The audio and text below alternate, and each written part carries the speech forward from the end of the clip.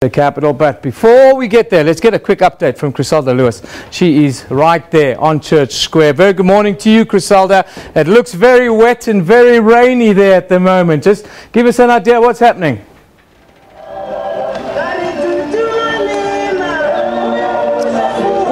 Morning uh, to you, Eben. I'm really struggling to hear you at this point because of the loud music that is blurring from the speakers and the singing and dancing that we've seen here at Church Square in Pretoria since very early this morning. We understand that opposition party members and supporters started arriving from as early as 4 o'clock this morning saying they're here to march against President Jacob Zuma. Well, this is where the march will begin and we'll head uh, to the union buildings.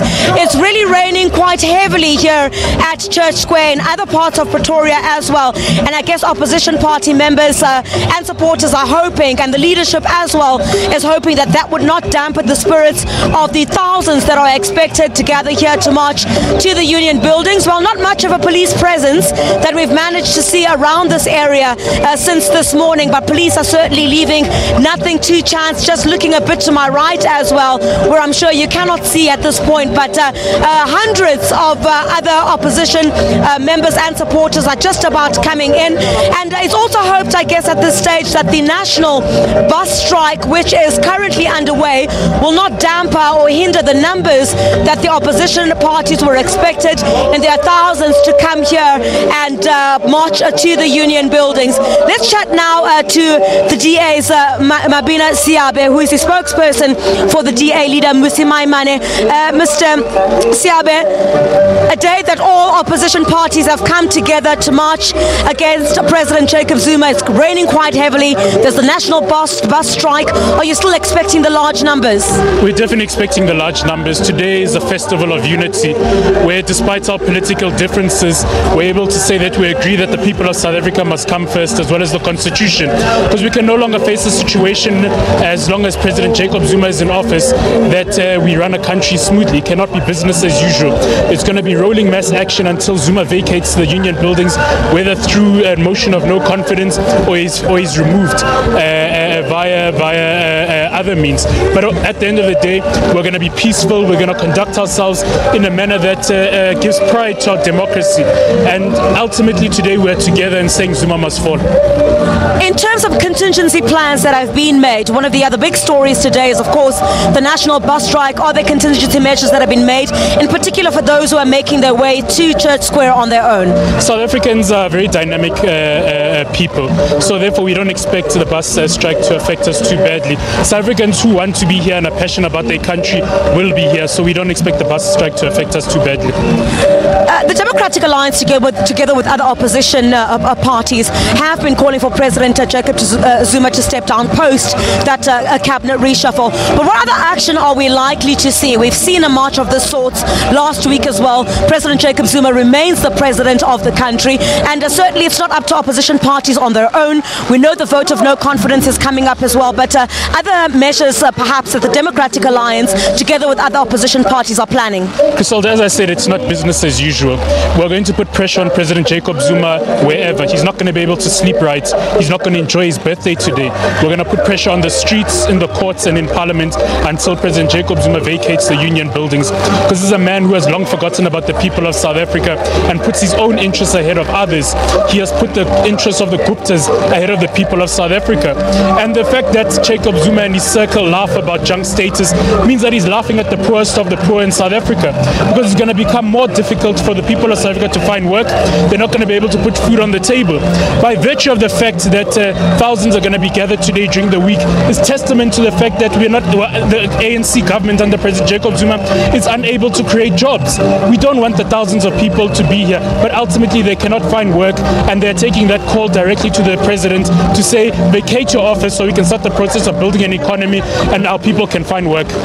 I guess you're also putting your hopes on that uh, vote of no confidence. Uh, we know as well that uh, you know there have been calls by other opposition parties for ANC MPs to join them in that vote. We've seen the former president uh, Thabo Mbeki also add his voice to that, asking uh, you know MPs uh, to vote with their conscience and vote and put South Africa first Are you hopeful, perhaps, that perhaps uh, uh, if uh, you're not successful, I guess, uh, in this call, perhaps through other means, including through the parliamentary process, perhaps uh, that would be successful on your part? Well, ultimately, we've called upon members of parliament to put aside their political differences. And when they swore an oath of office before the millions of South Africans, when they became members of parliament, they swore to put the people of South Africa first and uphold the constitution. Now, to vote against a motion of no confidence undermines that. If ANC members of parliament vote to ensure Zuma remains as president, they're endorsing corruption. They're saying that President Jacob Zuma must be allowed to be corrupt. But as opposition parties, we're saying no longer will that happen. That President Jacob Zuma will not sleep and will not be business unusual until he's removed. So we're not pinning our hopes on just a motion of no confidence or marches. We're going, it's rolling mass action.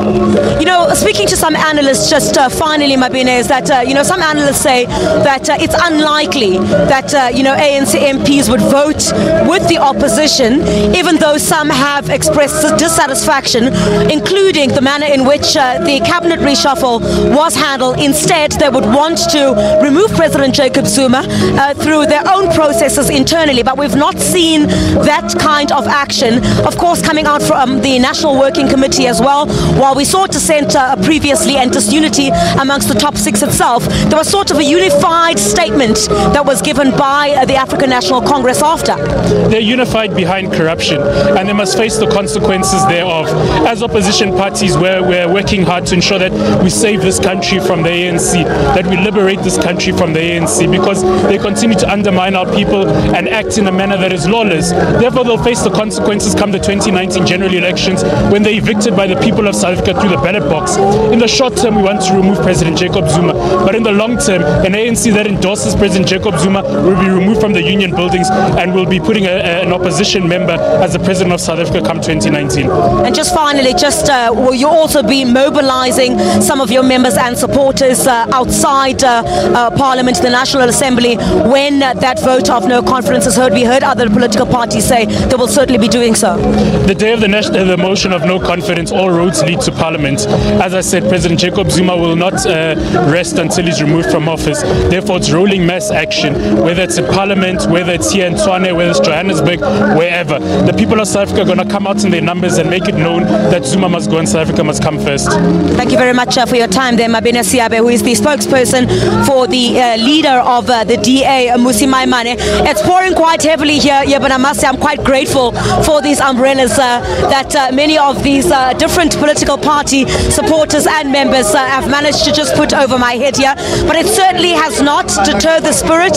thousands of them have already now come through here to Church Square, and we're expecting many thousands of others, of course, on the part of the Democratic Alliance, on the part of uh, the UDM, as well as the Congress of the People, as well as uh, the African Christian Democratic Party, to come here as well and march to the Union buildings. We're expecting maybe just uh, mini speeches uh, to take place here at Church Square before they move from here to the Union buildings. We also understand from traffic authorities that some of the roads leading to the Union buildings will be closed at this stage. But, uh, you know, some concern, of course, uh, on the part of that national bus strike on whether others will be able to make it uh, to Church Square, those who want to participate in this National Day of Action.